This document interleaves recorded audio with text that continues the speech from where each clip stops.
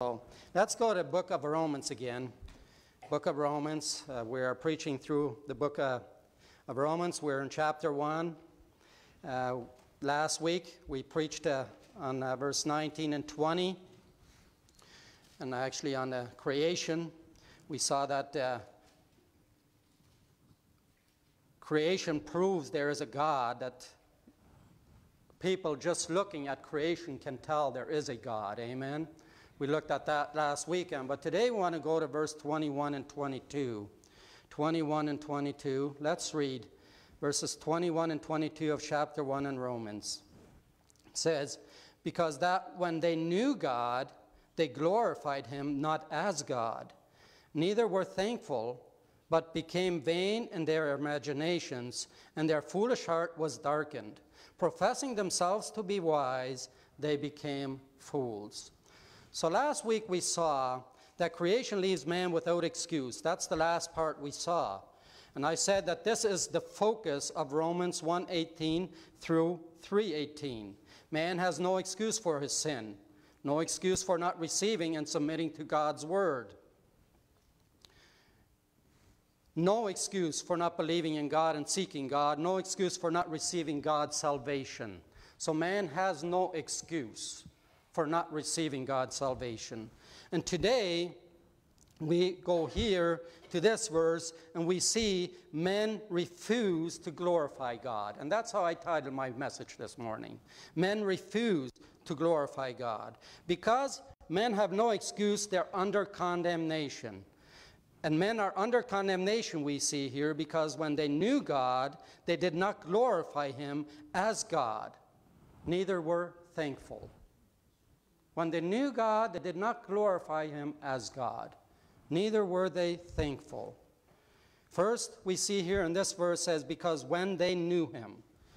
We go back to the start of creation.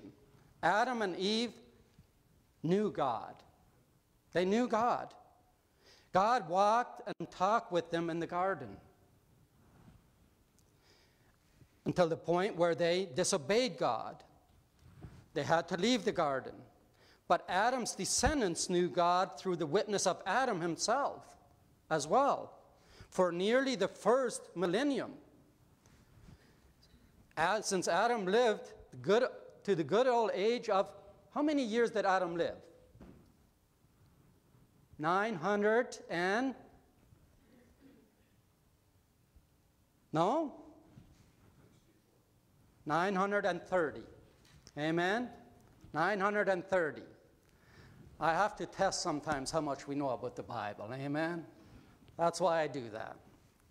Yes, he lived to the good old age of 930 years, we see in Genesis 5 5. He lived a long time. So he taught all his descendants, and they knew God, and we see this. We see this in Enoch. Enoch was the eighth from Adam. He knew God. He walked with God. He was raptured out of here. Amen? We see this in Noah's day as well. Noah knew God. But men knew God, and yet lots of them did not. We see here glorify Him as God. Lots of them didn't glorify Him as God. So the, after Noah the descendants of Noah, who populated the world after the flood, knew about the true God as well, from the witness of Noah and his sons. Because Noah lived about 350 years after the flood, and Shem lived about 500 years. Now, I want to look today at something here. From knowing God to becoming fools are five downward steps I want to look at. From knowing God into becoming fools. There are five downward steps. See, the thing is, man always talks about the age of the caveman.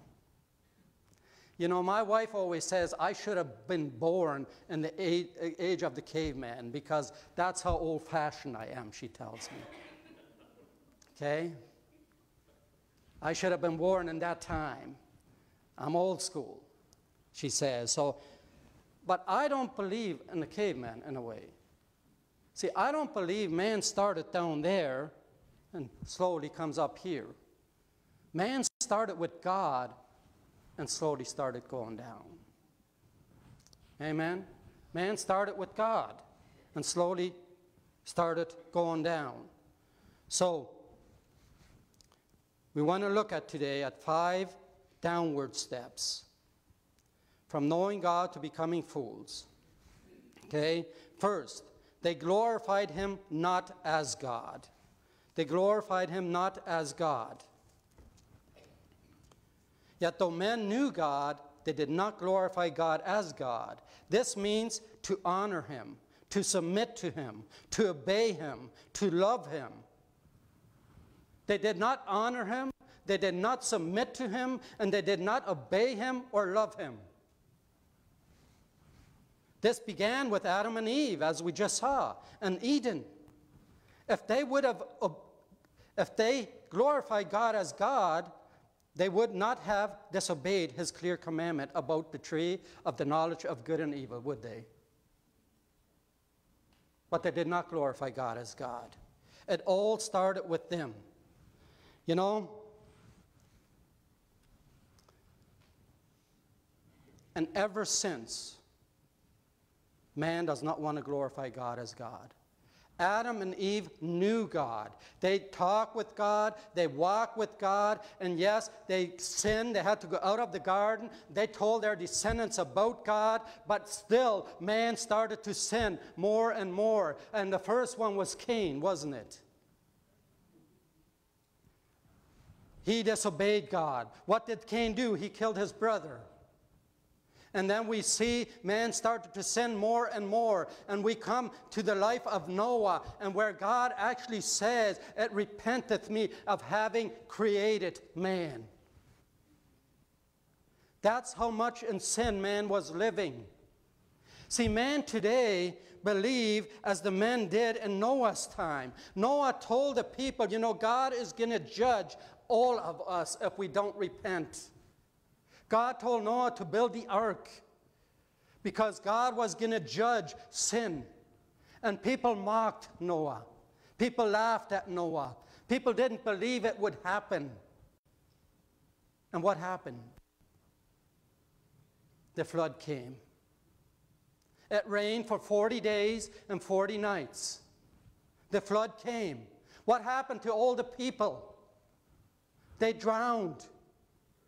Everything that was on life upon our earth, all the animals, everything that didn't go into the ark. How many people went into the ark? Noah and his wife, Noah's three sons and their wives. All the rest stayed out. They mocked him and laughed at him. They didn't believe that God was a, a God that would judge them. They knew God, but didn't glorify God as God. They still wanted to live for self instead of for God. But God did judge them, didn't He? We see today, we go out there and we speak to people. It hasn't changed much.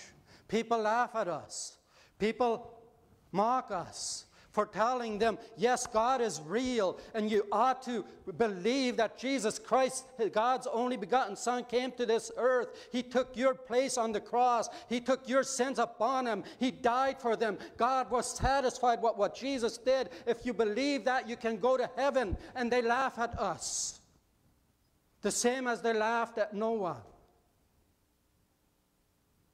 And when we tell them, and but God will punish those that will reject what Christ has done for you, they don't believe it.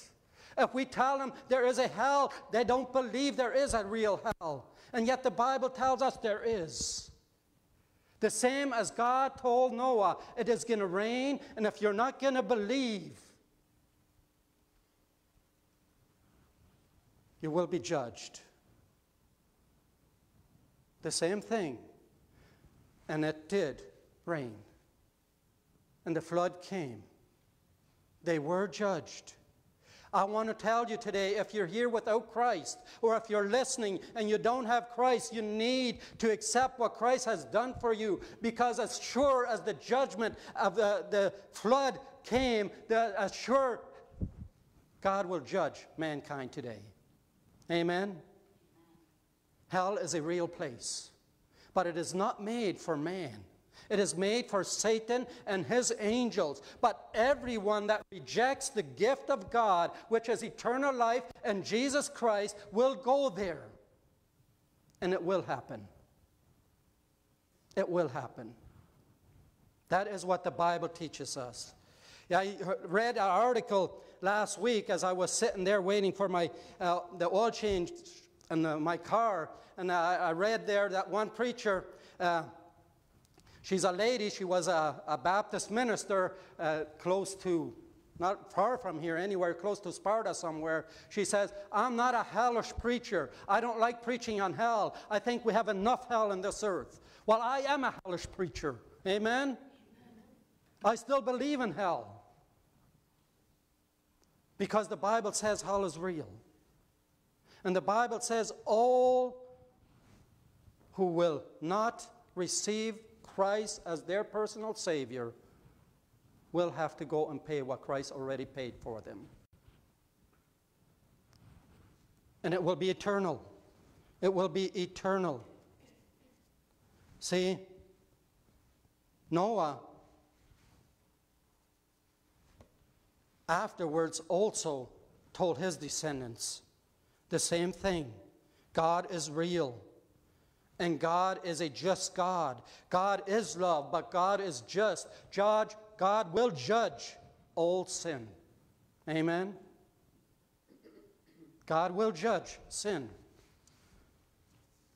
You know, I remember growing up, what my parents would always tell me and one thing, they were very strict we shouldn't steal. Stealing is wrong. And my dad would say, even one penny, if it's not yours, you don't take it. Stealing is wrong. And they would always teach me if you do wrong, you cannot go to heaven. You cannot go to heaven.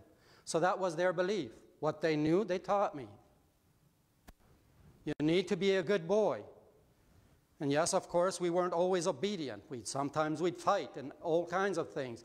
But what I want to get at, they wanted us to know that we should be good people to be able to go to heaven because that's what they knew. They didn't know that being good people doesn't take us to heaven. They didn't know that. Because you can be a very good person and you still can't go to heaven if you don't repent of your sins. You still need to repent.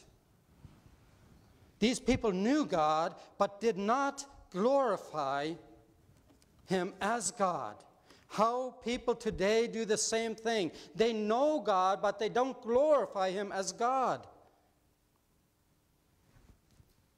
You know, it wasn't only back then. This continued with most of Adam's children, beginning with Cain and with Noah's descendants as well. They knew God, but didn't glorify Him as God. How sad. I did that for so many years, and I'm so thankful. Today I can come and I can say, Thank you, God, for saving my soul. Thank you because without you I'd be lost. I give him honor and glory for everything I have, I am, and what I do. Without him I can do nothing. Nothing. Amen. Neither were they neither were thankful. We see here because that when they knew God, they glorified him not as God, neither were thankful. Now, unthankfulness to God is a great sin. It is sin. Being unthankful to God is a great sin. Man owes absolutely everything to God. Everything. Amen. Man did not create himself, he did not create the world. Man did not make anything and does not own anything. And that is what man doesn't understand. You know, I always tell people, uh, people ask me, do you own a house? I don't own a house here in Canada. I do own one in Mexico, I say. But then I have to say again, well, it's God's house because He gave it to me. Amen? because I wouldn't have it if it wasn't for God. I would not have anything if it wasn't for Him. Psalm 24 1 says, The earth is the Lord's, and the fullness thereof, the world and they that dwell therein. Amen? The earth is the Lord's, and the fullness thereof, the world and they that dwell therein. Man is dependent on God for his very existence. For his very existence, we ought to be thankful for that. For his very strength, for his every breath, for his mind.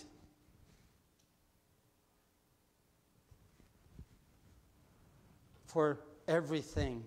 If it wasn't for God, I wouldn't be standing here. You wouldn't be here today either. He gives us the breath to breathe, He gives us a mind to think. Without Him, we wouldn't know how to work. Without Him, we wouldn't know how to make money. Without Him, we wouldn't know how to build a house. There would be nothing without God. Amen? Nothing. He is the creator of all, of everything. Everything man has ever seen or touched was made directly by God or was made from material that God made and kindly put at man's disposal. Everything. God made the earth, the heavens, the earth, the sea, and everything that's therein. We can build houses because of material God has provided. Amen? People make machinery, tractors, everything from material God has provided. We would have nothing if it wasn't for God. Nothing. And that is so beautiful that God tells us this here. You know, God, through Paul, teaches us so many things. We ought to be thankful for everything God gives us. Acts Chapter 17, verse 28 says, In God we live and move and have our being. In God we live, we move, and have our being. It's in God.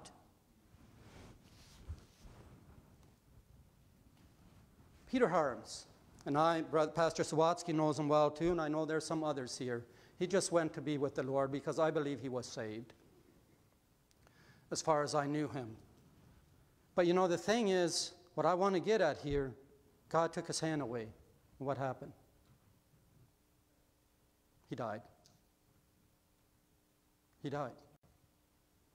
The moment God will take his hand away from me being here, what will happen? I will, and so will you.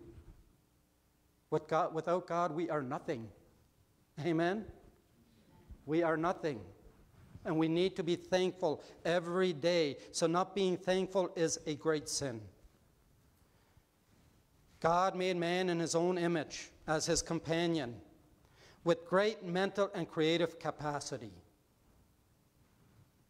a body of miraculous ability, and the gift of language. I look at my body and it just amazes me. See my fingers and how many parts they bend? how God made us, how my knees bend exactly as I'm supposed to walk, how God made us so perfectly. He put the ears, He didn't put the ears where the nose is. We'd look kind of strange. God made us perfectly, amen? And not just the outside. Look at all the organs inside of us. If one organ fails, the whole body suffers. Even those organs, those that are the smallest organs, are so important. And God put everything exactly in the right place. Exactly. How thankful we need to be. And He allows us to speak. Now, I do speak in tongues, if you want to know. Amen? Three different ones. Now, I'm talking languages. Now, I'm not going to start saying things here that you wouldn't understand. But I thank God. God has allowed me to preach Spanish. That's what I've preached most Spanish, German, and English. So, yeah, I speak three different tongues. I thank God for the language that we are able to speak. We can communicate one with another. God made man ruler of the beautiful green earth with its glorious design atmosphere. Man is the ruler here. He's given us this beautiful land to watch over it. Amen. And look at the snow goes away, it gets warm. What happens? The trees start getting green, the grass starts growing. Everything is God's doing.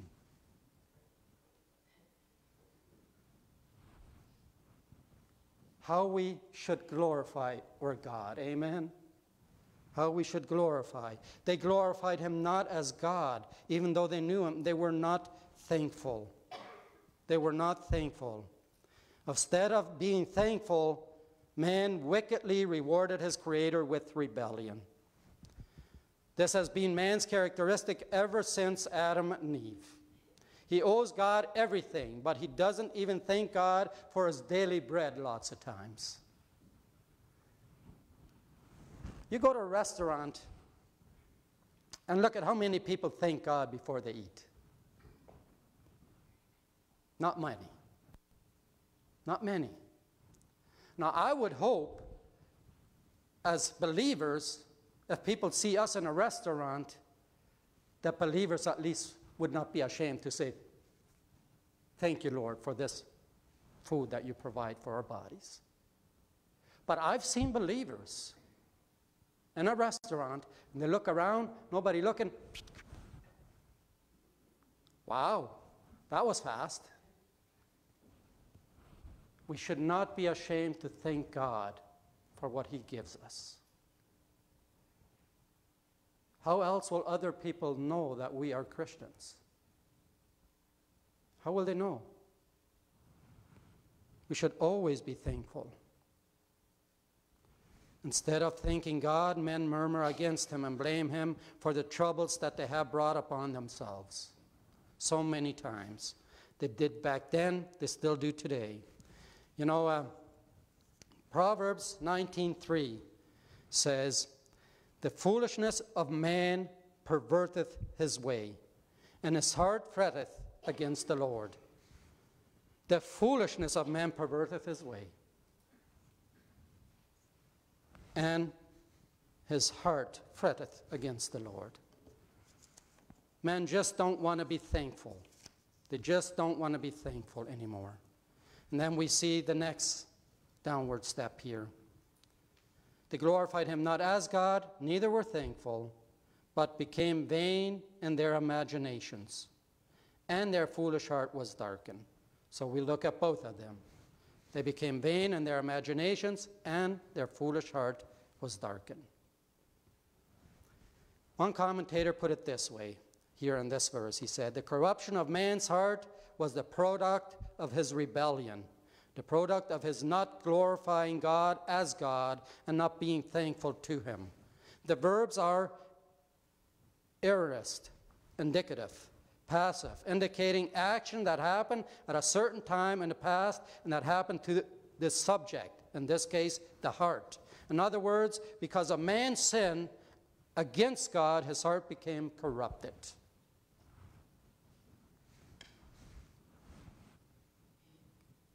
Man's heart is corrupted, isn't it?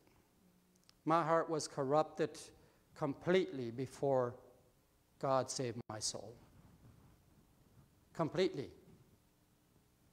Man that doesn't know any human being that doesn't know Christ, the heart is corrupted. They need to repent. They need to believe that God sent his son and then sent him for them. So his son would take their place on the cross and pay eternal hell in their place. Because Christ paid the price in full. Because God doesn't want one person to suffer eternally.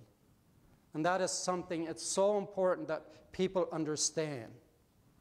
God does not want people to suffer. You know, ever since, this has been the condition of man's heart. Imaginations and heart are intimately associated. The heart has imaginations and thoughts. Genesis 6 5 says, And God saw that the wickedness of man was great in the earth, and that every imagination of the thoughts of his heart was only evil continually. This is exactly where God saw that man's heart was evil. His thoughts were evil. His imaginations were evil. This is before the flood. But the same thing today. God sees, look at everything that's going on in the world. The imagination of mankind is evil. They put God out of everything. This prayer was taken out of school years ago. Back, and I'm not such an old man yet, but when I was in school, there was prayer every morning. I went to school here in Straffordville. Every morning, there was a speaker in every classroom, and the principal would read a verse out of the Bible, and then would pray, and then we would sing the national anthem. Every morning. You don't see that in schools today, do you? June would probably know that as well because she was teacher, how that used to be. It's taken out. But not only that, God want, they want to take God out of everything. Look at today how people speak against Christians everywhere. They're giving Christians fault and everything bad that's happening in the world when it's their own imaginations, evil thoughts. Amen?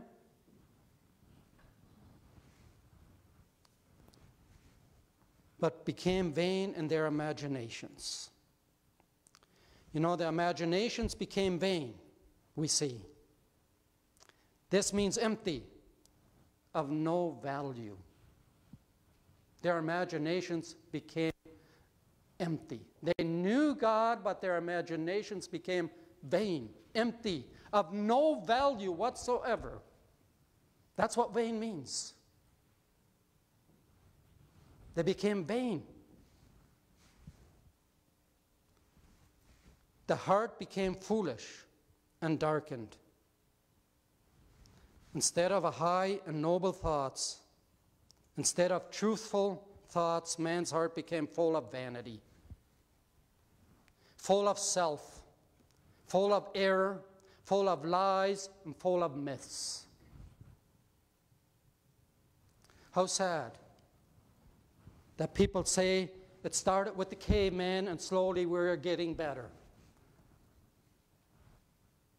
God says we started with God and slowly we are getting worse. Slowly we are getting worse. The world is not getting better. It just isn't. More and more we see they don't want God in their lives. They don't want to submit to God's authority. More and more we see this all the time.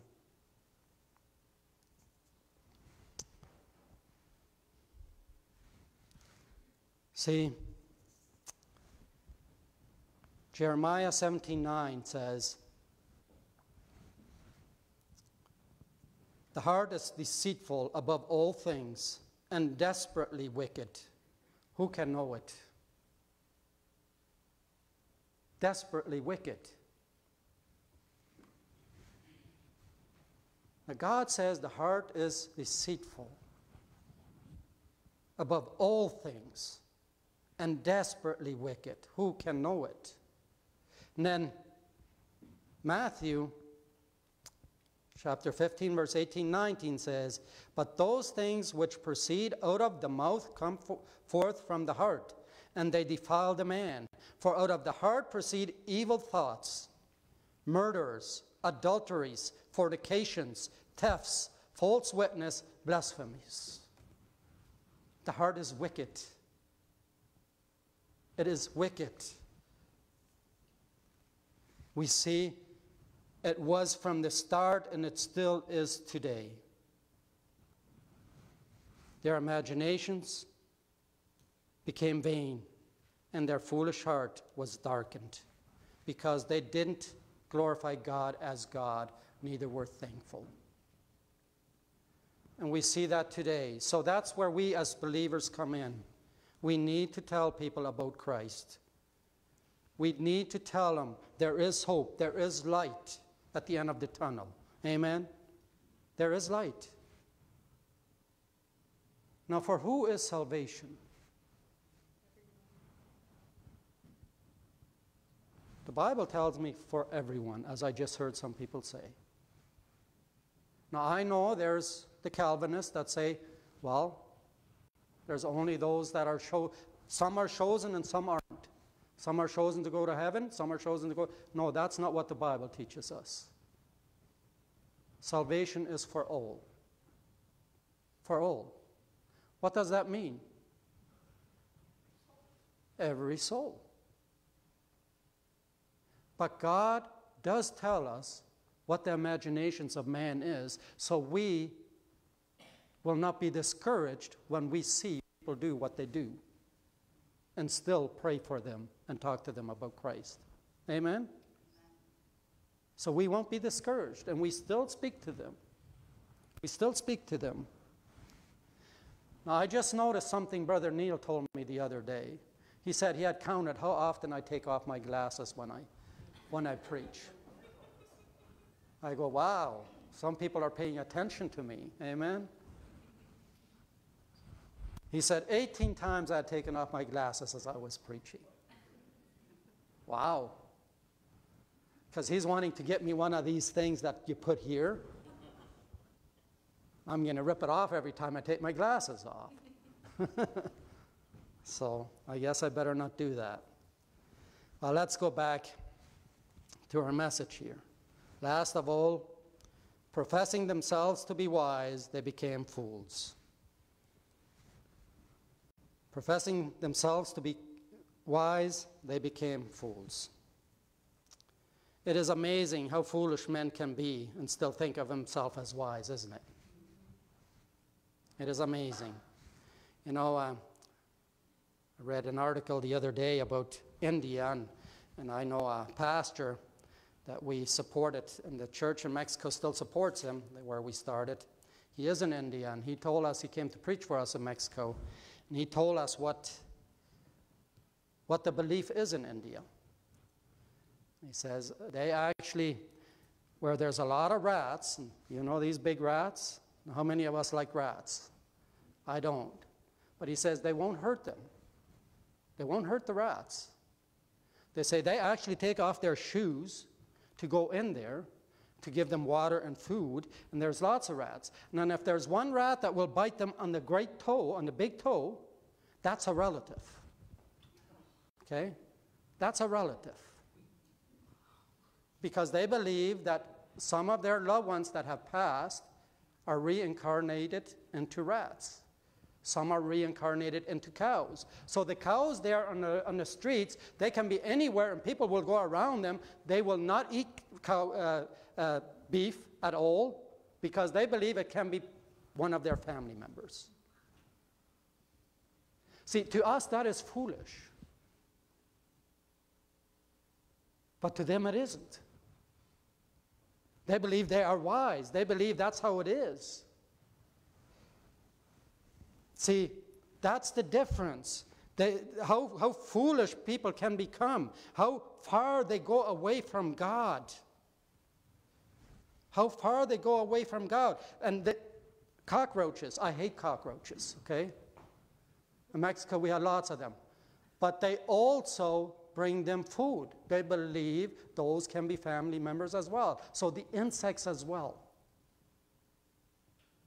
Not just cows, rats, but also insects.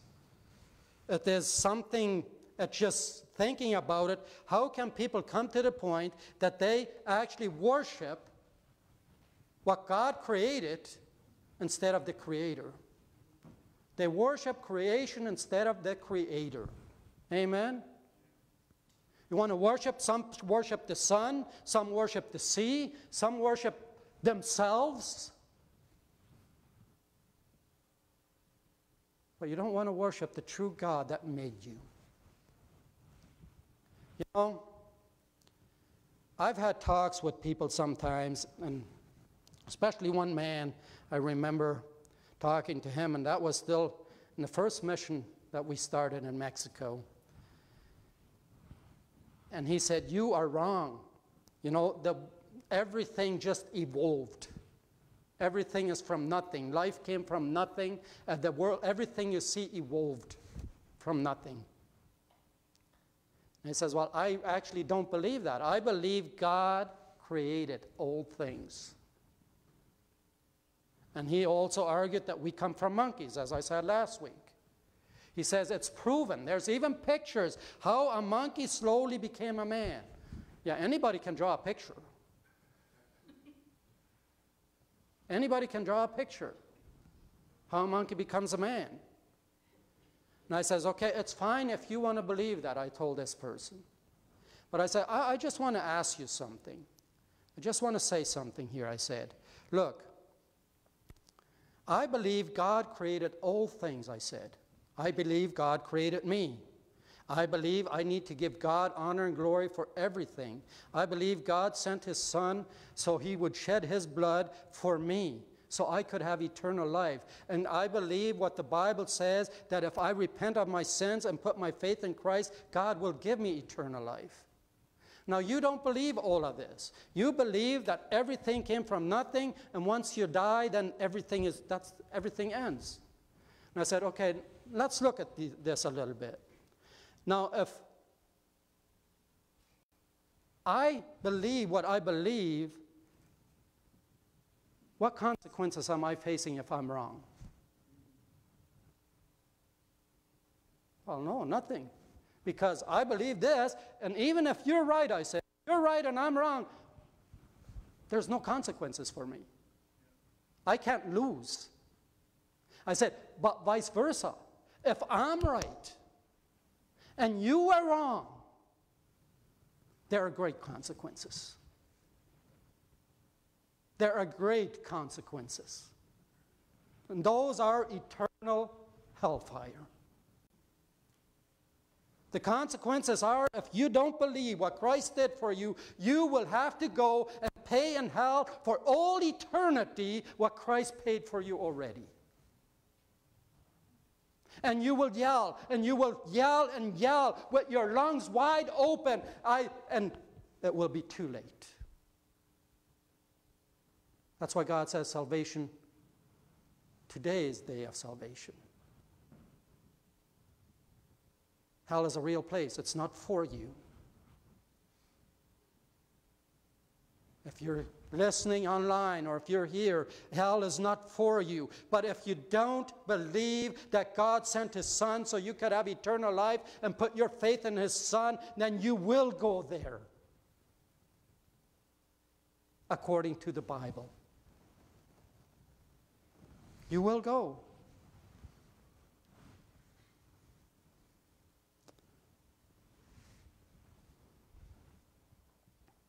You know, man can believe life arose spontaneously from non life, like I just said. That this world, beautiful world, just evolved. That to me is foolishness, the same as what I believe to others is foolishness. That is foolishness. Pride is an inherent part of man's fallen nature. For from within, out of the heart of men, proceedeth pride as well. You know, it's all about self, isn't it? This world is filled with, filled with man's boasting, pride of intellect, pride of appearance, pride of education, pride of scholarship, pride of ancestry, pride of heritage, pride of race, pride of station, pride of achievement, pride of wealth, pride of possessions. There's pride in everything. Pride. Uh, everything. Man thinks he can do all things himself and doesn't think that without God giving him the mind to be able to do things, he would do nothing. God should have honor and glory for all things. And yet man knows God. Even though he says he doesn't, he knows there's a God and does not glorify him as God and is not thankful to him. If there's someone that says, I don't know there's a God, I don't know God, you're lying to yourself. Because God's Spirit testifies with our spirit, the Bible says that there is a God. That there is a God.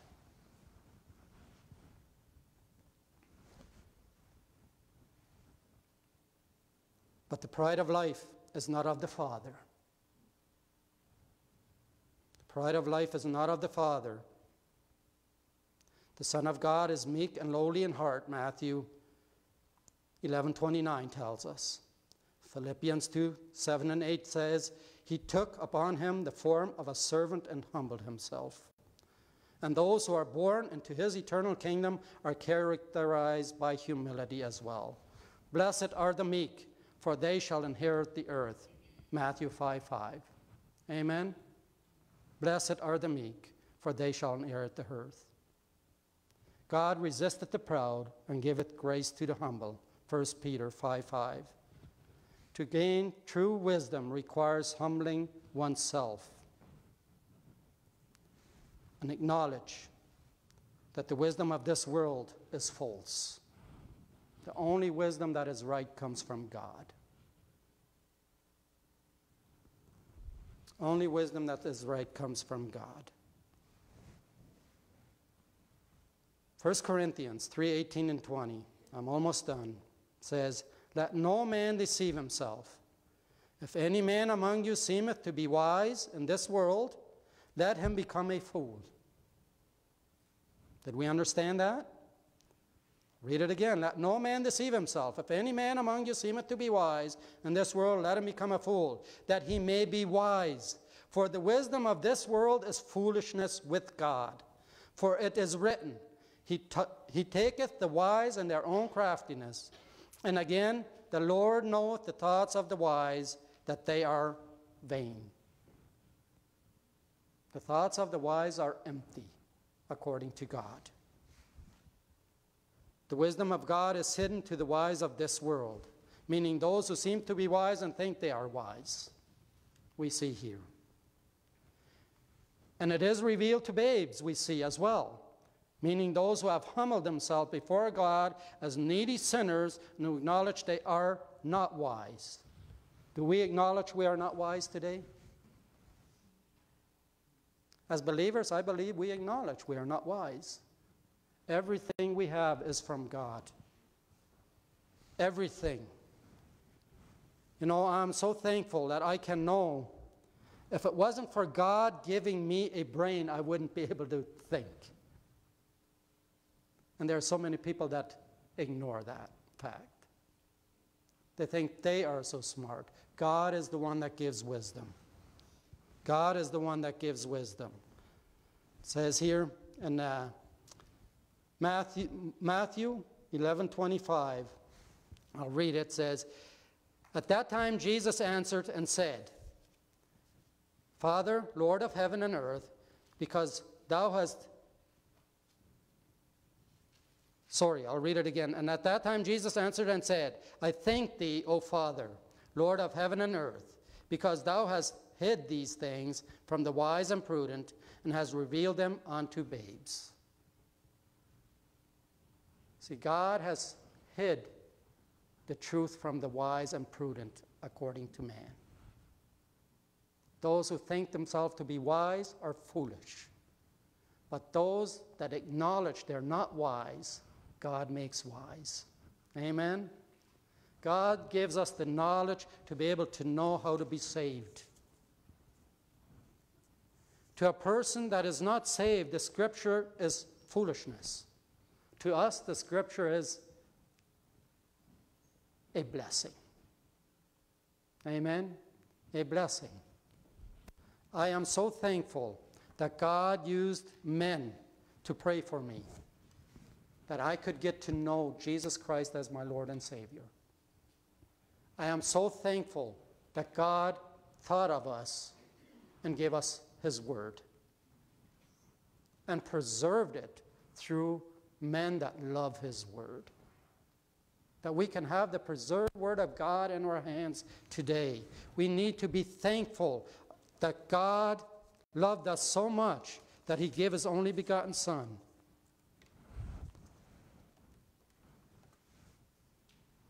And that we can glorify God as God. Amen? That we can glorify God as God. But because we can, we need to talk to others about this. And with this, I want to end.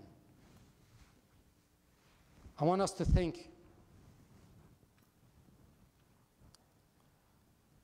if we see a person this week that doesn't know Christ walking down the street, then we know God still wants to save that person if he's not saved or she's not saved. Are we here this morning? We know this. See, an unsaved person is still breathing and God is still giving him, him or her breath to live because God wants to save their souls. If they're still alive, there's still hope.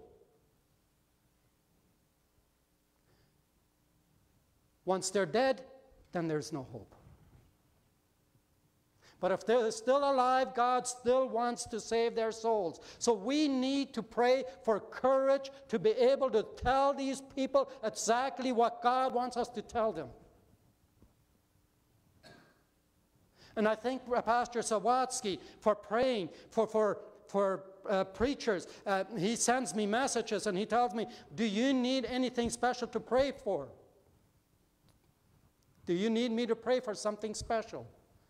I appreciate that because we need prayer so much, because we need courage. It is not easy to talk to these people that we see that are still alive and that might not talk so nicely to us when we talk to them about Christ.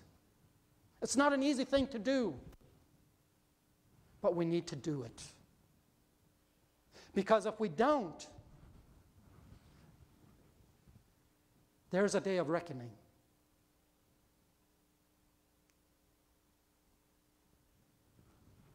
Will their blood be on our hands if we don't talk? See how important it is? Jesus Christ hasn't come back yet because of one reason because he wants to save more people. Amen? He wants more people to be saved. He does not want them to go to hell and, and, and suffer there eternally. That's not why hell was created, made. It was made for the devil and his angels. God does not want one single person to go, so we need to be courageous. I read this week of some martyrs, some people that gave their lives, that were burnt at the stake. And they did not once falter. They glorified the Lord until the moment they couldn't anymore. Not once did they falter. I read about people that were put on a machine and that slowly someone was doing this and their arms were ripped out of their bodies. Reject Christ and you can live. How deep is our faith? We don't even really want to go out there and knock on doors and tell people about Christ. Some of us. Amen? We need to think about what God wants us to do and ask for courage. Pray for courage. Pray for one another at all times. And some probably already know. I pray every day that God will break you. Amen. And I need you to pray that God would break me. That's one of the things I asked Pastor Sawatsky to pray for. For the Lord to break me.